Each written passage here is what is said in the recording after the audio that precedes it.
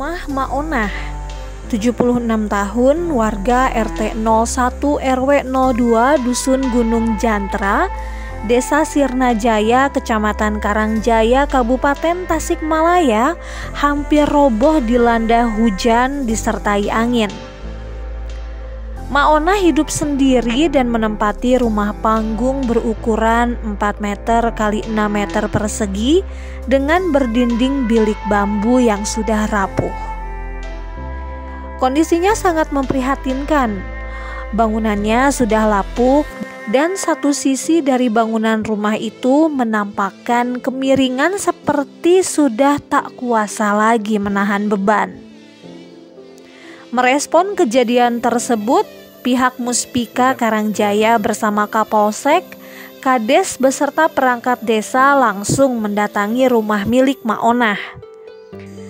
Kades Sirna Jaya Haji Asep Supendi mengatakan kultur tanah di daerahnya sangat labil sehingga pihaknya memohon kepada warga yang menempati tanah labil agar tetap waspada.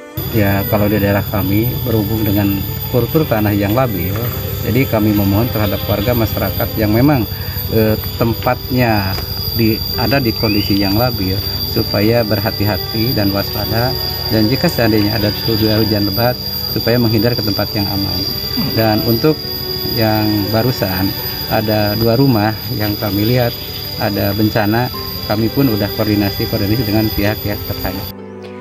Sementara itu, Sekretaris Kecamatan Karangjaya membenarkan ada salah satu rumah warganya yang terkena bencana dan langsung ditindaklanjuti pihak Desa Sirnajaya untuk langsung menuju ke rumah milik Maonah.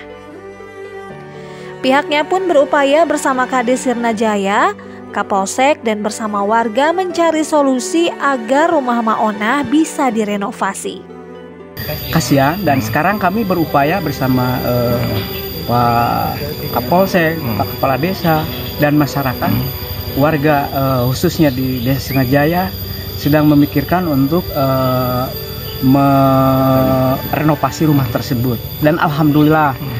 kami uh, berkoordinasi dengan uh, lintas uh, yang terkait dengan uh, bencana alhamdulillah barusan kami sudah berkoordinasi dengan uh, UPJ uh, dari Batnas dan nanti selanjutnya juga kami akan berupayakan lagi ke uh, yang lainnya hmm. baik itu BPBD ataupun uh, ke lembaga-lembaga lain yang terkait dalam penanganan bencana insya Allah hmm. hmm. kami akan upayakan untuk mengatasi uh, permasalahan uh, yang menimpa uh, Ibu Onah hmm. kalau ya namanya Ibu Onah hmm, Bu Ibu Ona rumahnya agar segera direnovasi dan uh, dapat dihuni uh, nyaman, layak sebagaimana uh, rumah uh, pada umumnya.